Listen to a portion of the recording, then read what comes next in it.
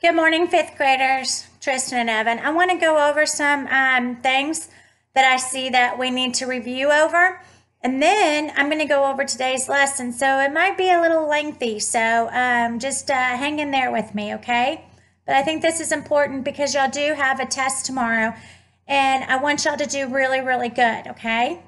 So um, let's go back over Fahrenheit and Celsius, okay? I see some trouble there still we're not using the same we're not using the proper formula that we need to uh, be using okay?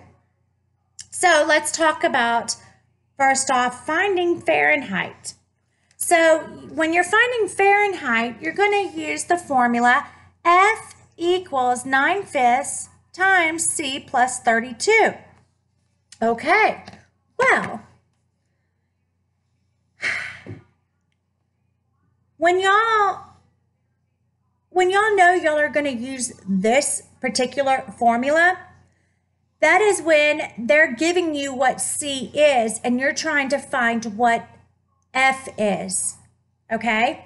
Because you're going to put c in where c is in the formula okay? You're going to input that insert that number they give you that temperature. So um, let's see here. Um, huh. I want a good number here. Let's see, what can we have? What can we have our Celsius and what do we want to make our Celsius? Um, let me see if they have one on today's lesson. They sure do. Okay. They want you on the back on number 7A, they want you to convert 70 degrees Celsius into Fahrenheit.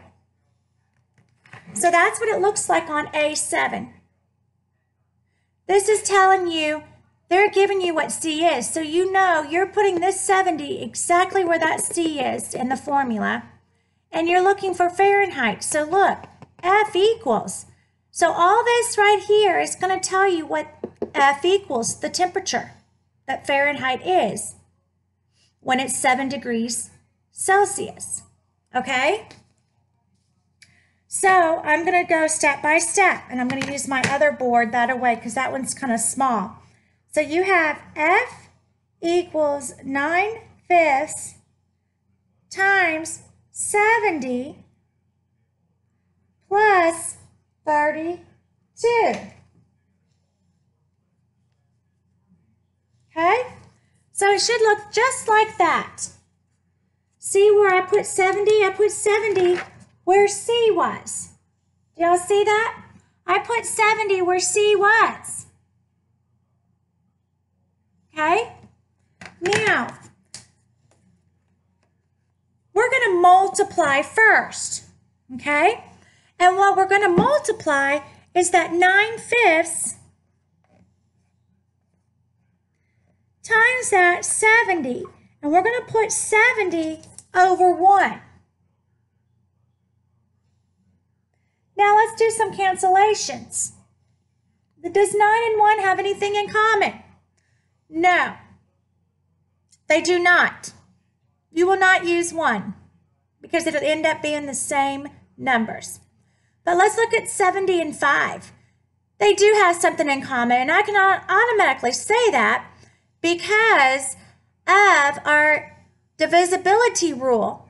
Now, it ends with a zero.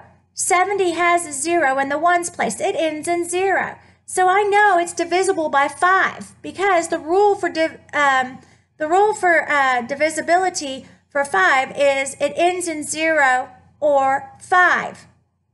I shouldn't say ends. It has a zero or a five in the ones place, I should say. Excuse me. Okay? So, how many fives can go into five? One. So I changed my five to a one. Now, how many fives can go into 70? Five times what makes 70? Five times what makes 70? Huh. Well, if you don't know, you can divide. Go 70 divided by 5. Okay, if you do not know, my marker's going out. So how many fives go into 7? 1. Well, 7 minus 5 is 2. I can't do anything with that 2, so I bring down my 0 I have not used. How many 5s go into 20? 4. So you can say that 5 goes into 70 14 times. Look at that. Look how much easier that was.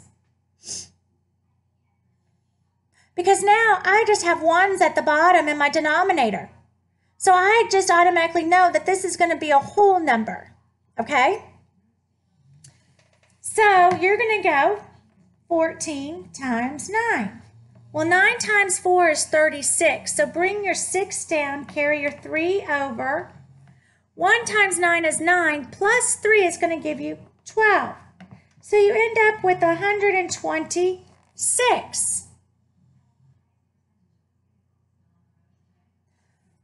I should say 126 over 1, which equals 126. Excuse me, I should say that. I can't skip that on y'all. Now, now, you have your 126, but you still have your plus 32 we have not done. So you have 126 plus your 32 because we still have not done 32 we just multiplied the fraction to what they gave us, the 70 in Celsius. So when we do that, 6 plus 2 gives you 8, and 3 plus 2 gives you 5, and just your 1 plus 0 is 1. So your answer should be 158 degrees in Fahrenheit.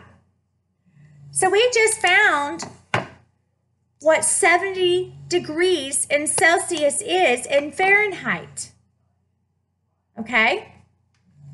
Now, let's see if we have one that does the opposite, where we're going to turn our Fahrenheit into Celsius. And they do, okay? They do. Um, let's do C. Let's do C, okay? C says, a hun C says 104 Fahrenheit is to what in Celsius?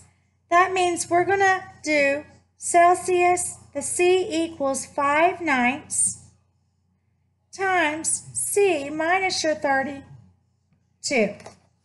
So there's your formula, and there's your problem.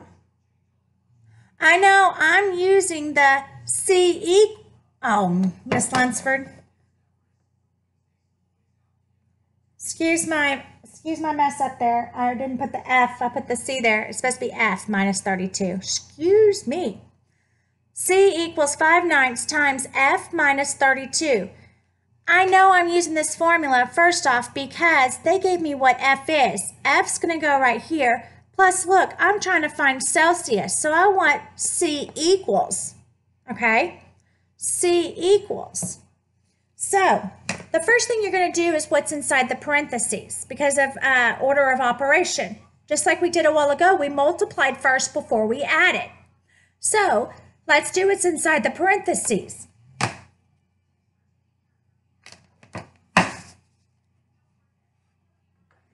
C equals 5 ninths times 104 minus your 32. So first, before I subtract, let's look at this. This is what your formula, you plugged in 104 degrees Fahrenheit inside where F was. So now we're going to subtract 104 minus your 32. So 104 minus 32. Well, 4 minus 2 is 2. I borrow for the 0. The 1 becomes a 0. The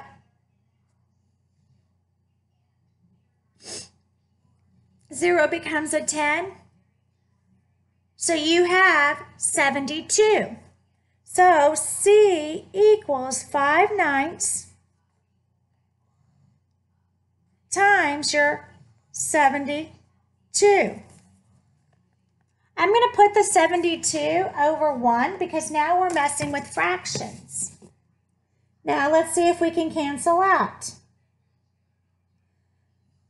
Okay, your 5 and your 1 have nothing in common, but your 9 and your 72 do. They have 9 in common. 9 can make 72 and 9 can make 9, can't it? So 9 can go into 9 one time, and 9 goes into 72.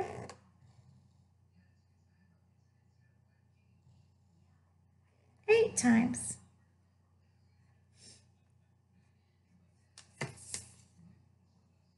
So now multiply straight across. 5 times 8 is 40, and 1 times 1 is 1. So 40 over 1 equals 40. So your answer, let me show you what I did. So your answer is when it's 104 degrees in Fahrenheit, it is only 40 degrees in Celsius. Okay? Okay. So just remember, think about think about what they're wanting to know. Are they wanting to know Fahrenheit? or they wanting to know Celsius. Whatever one they're looking for, the formula you know you're going to use is if they're looking for Fahrenheit, you're going to find the, fair, the, the formula that says F equals.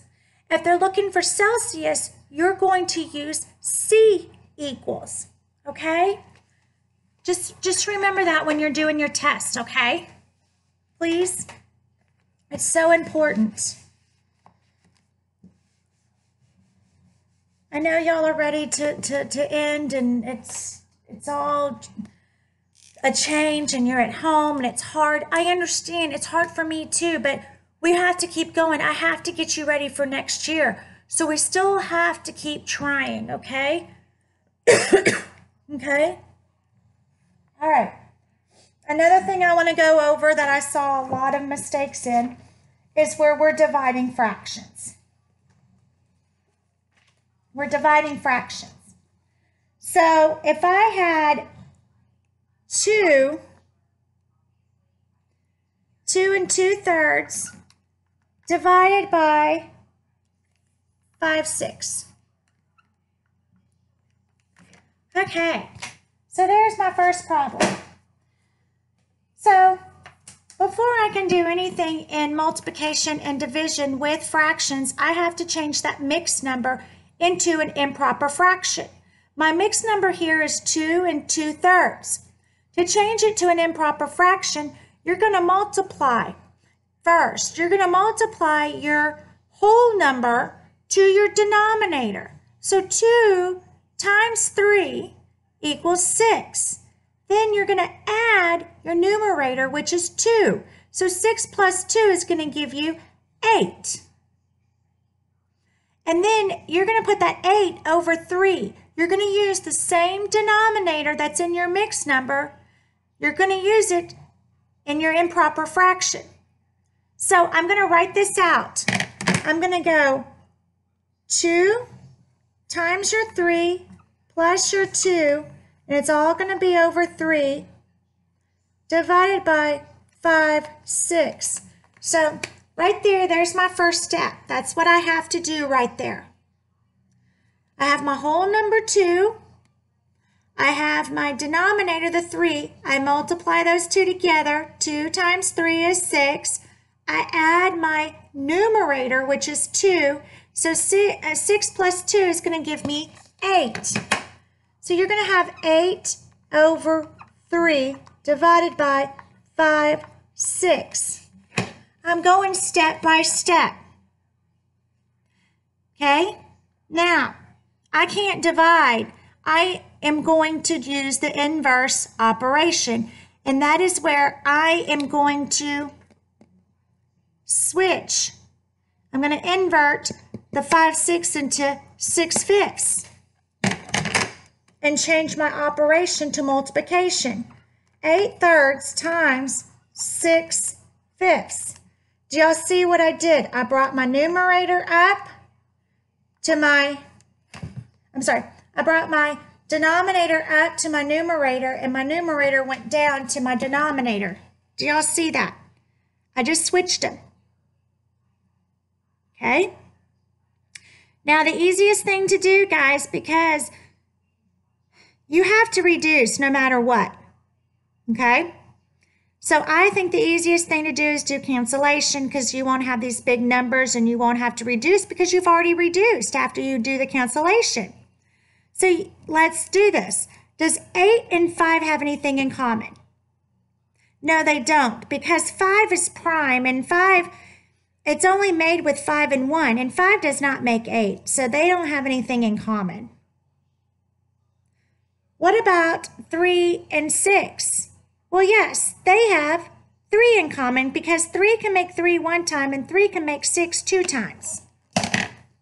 So I'm going to cancel those out.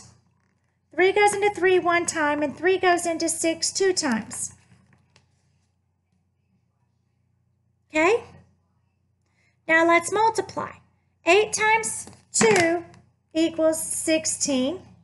And 6 and 5 times 1 is 5. So I have 16 over 5. Guys, that's improper. I'm not, you cannot leave it that way. You'll have to reduce it. It's improper. It's improper. So what are you going to do? You're going to divide. You're going to divide. You're going to divide 5. Divi I'm sorry, 16 divided by 5. Well, how many 5s go into 16? 3. Because 3 times 5 is 15. 16 minus 15 is 1. So you're left with the remainder of 1 fifth. So 16 over 5 equals 3 and 1 fifth. Oops.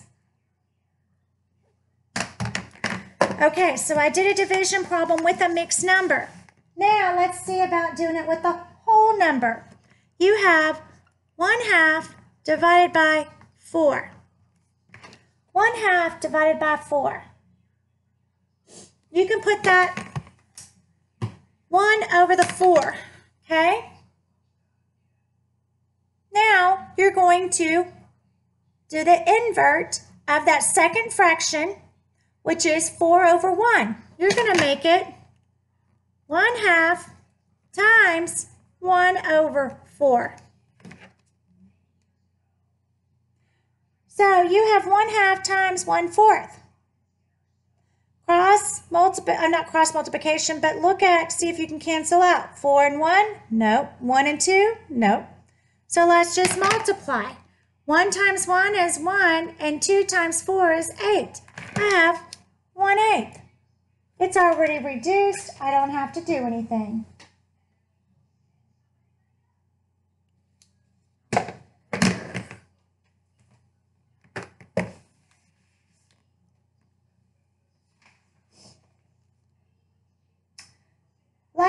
Where we have two mixed numbers. 6 and 2 thirds uh, divided by, excuse me, divided by 1 and 1 third.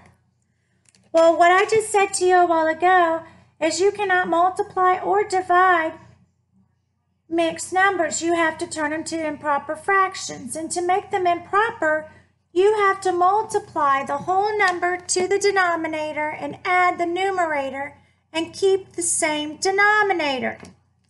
So I'm going to write it out. 6 times 3 plus 2, that's all under 3. Not under, but above 3. 1 times 3 plus 1 over 3. So I have it written out. So let's do the multiplication addition. 6 times 3 is 18. 18 plus 2 is going to give you 20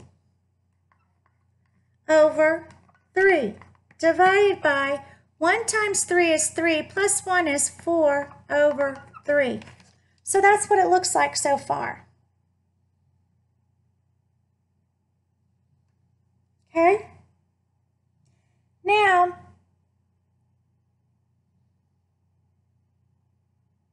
let's invert. So 20 over 3 times 3 over 4. I just inverted and changed my sign to multiplication. I converted that second fraction, the 4 thirds, and I uh, inverted it to 3 fourths. So now let's do cross, cross cancellation. 3 can go into 3 one time.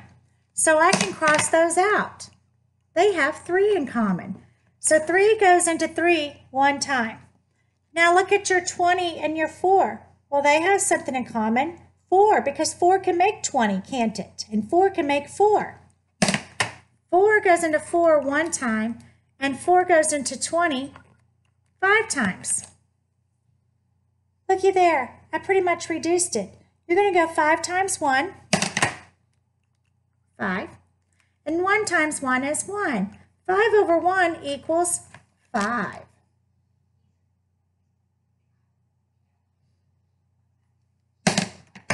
Okay?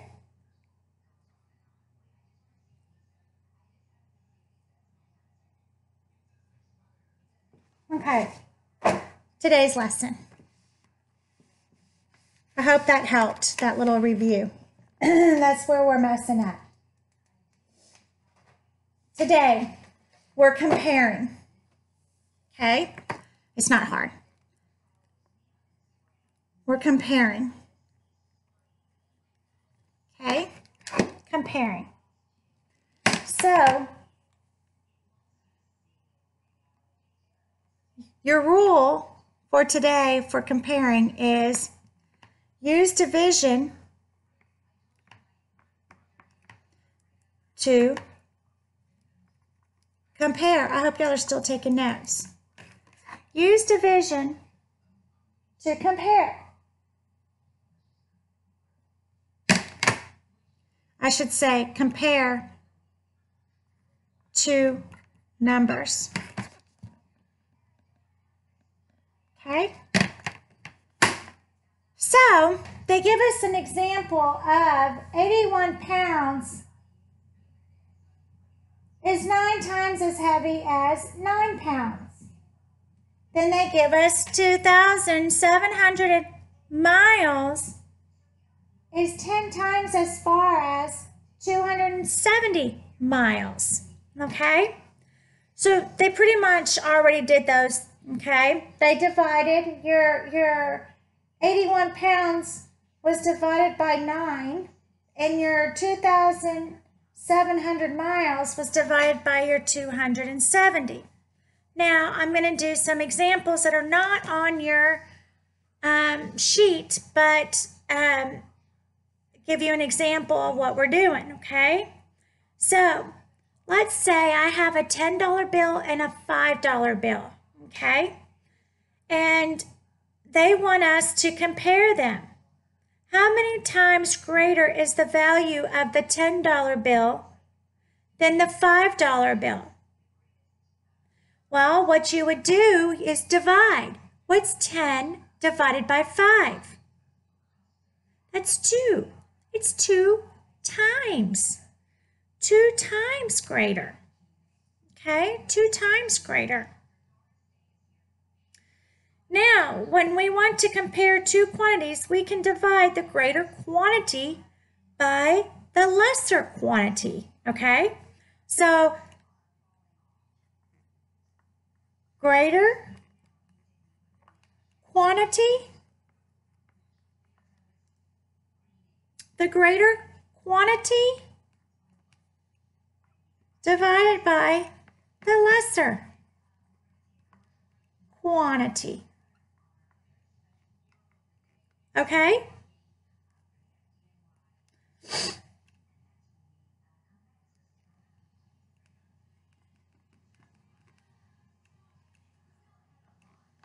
Can't fit the whole word there. Okay? So greater quantity divided by the lesser quantity. So let's do this. If I had $500 So how many times greater is the value of the $500 than the $20? So all you would do is divide $500 divided by $20. So that's all you do. Okay? And when you do that, don't forget your dollar signs if they're talking about money, guys, okay? That's 20 that's 25 times greater, okay? It's 25 times greater. All right, let's do some that are on your paper. Let's look at those word problems.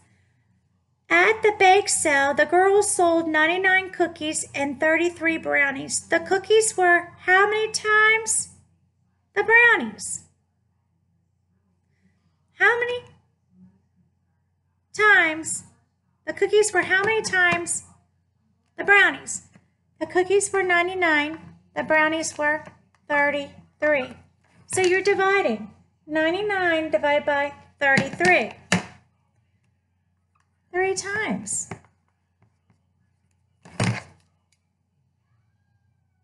Because 33 times 3 gives you 99.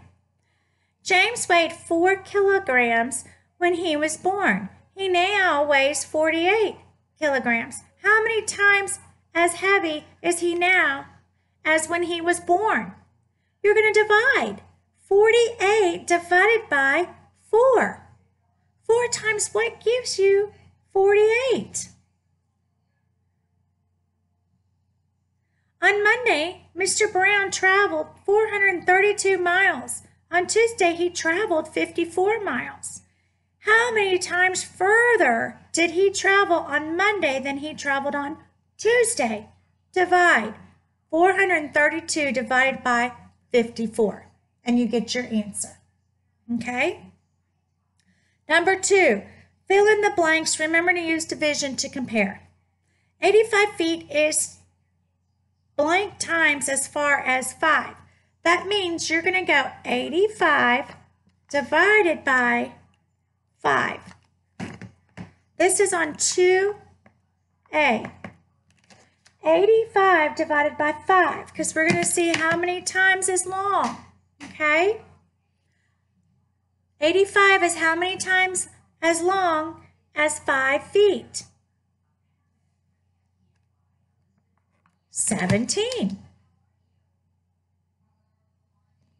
96 pounds is blank times as heavy as 12 pounds. Well, that's B. You're going to do 96 divided by 12. 12 times what gives you 96? eight. So you're just dividing. You're dividing the greater quantity by the lesser quantity. Okay? Okay, then you have the division of the fractions. I already went over that with y'all. Okay? Remember to reduce. Remember to reduce. Then you're filling in the blanks with the greater than or less than sign or equal sign, okay? Think about what you're doing. Think about what it says, okay? Then you're rounding. Y'all are doing wonderful on that. And then, like I said, I did two of the conversions of Celsius to Fahrenheit and Fahrenheit to Celsius. I did A and I did C. Okay?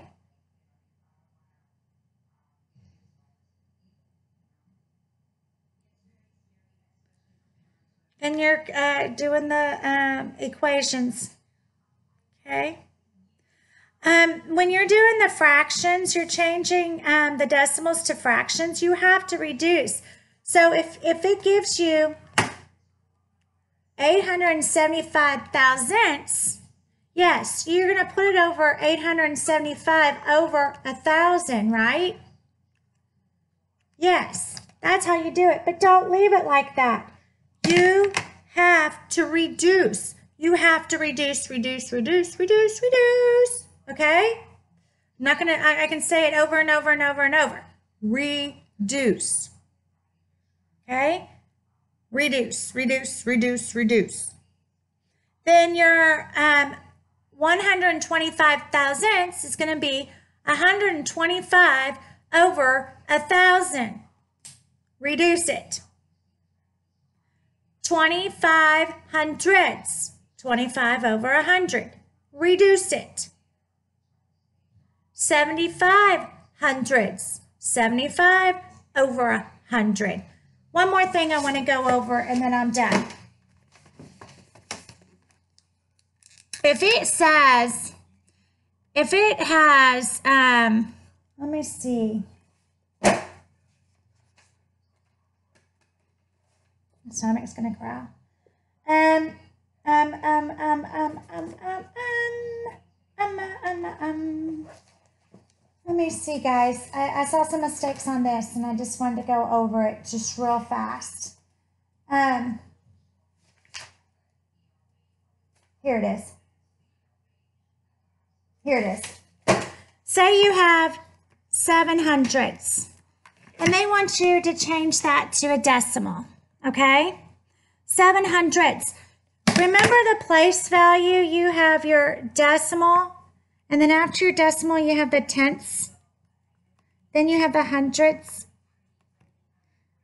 right? And then you have your thousandths, right? That is saying seven hundredths. So where's hundreds at? It's right here, isn't it? So you don't have anything in the tenths. So you have to write it as 0.07.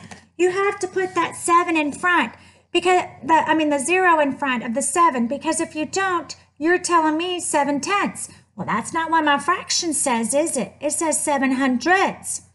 Okay, so think about that. Also, too, I'll give you a little hint too. If it is, if it if seven over a hundred, how many zeros are in a hundred? Two. So what you're to do is put your seven down. You're going to move. You're going to move to the left two times because there's two zeros. One, two. And you'll add the zero. Did you see what I just did? If it was seven tenths and you put seven down, you're going to go to the left one time because there's one zero. So you hopped over one because there's one zero. But also you can do it by place value. I like for you to do it by place value just so that you can know your place value. Um, this is just a little trick too to help you. But I like for you to look at the place values too because I want you to know those place values. That's very, very, very important, okay? All right, guys. Well, good luck on your test tomorrow. Um, if you have any questions on it, you're more than welcome to call me or text me, okay? And I hope you are watching these videos, all right? All right. Have a good week. I'll probably talk to y'all, make a video on Wednesday for y'all, okay? Alrighty. Bye.